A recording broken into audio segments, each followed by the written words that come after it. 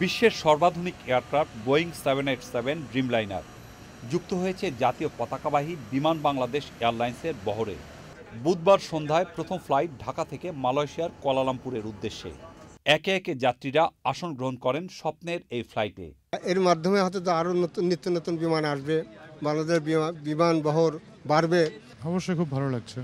প্রধানমন্ত্রী শেখ হাসিনার দেয়া নাম আকাশবিনা এয়ারক্রাফটের এই যাত্রীরা আকাশে বসে ফোনে কথা বলতে পারবেন প্রিয়জনের সাথে থাকছে ইন্টারনেট সুবিধাও সরাসরি দেখা যাবে নয়টি television channel Beautiful airplane. I, I can tell it's brand new. I'm excited about the flight.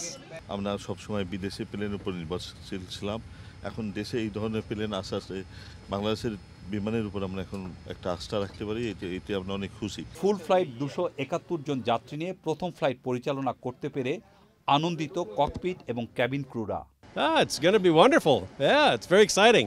It's great for Bangladesh to get this brand new airplane. Brand new seven eight সেভেনে কুয়ালালামপুরের পথে খুবই ভালো লাগছে মানে দেশ এগিয়ে যাচ্ছে বাংলাদেশ বিমানও ইনশাল্লাহ এগিয়ে যাবে। এটা সর্বাধুনিক এয়ারক্রাফট হিসাবে এটা একটা অন্য অন্য উন্নত দেশেও নাই এটা। সুতরাং আমি বিমান ক্রু হিসাবে আমি অনেক গর্বিত এবং অনেক আনন্দিত।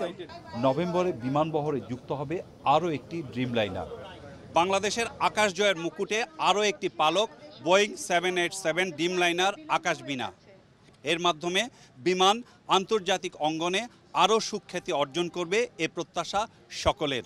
হজরত শাহজালাল আন্তর্জাতিক বিমানবন্দরের প্রথম ডিমলাইনার ফ্লাইট থেকে চকর মালিথা চ্যানেল আই ঢাকা।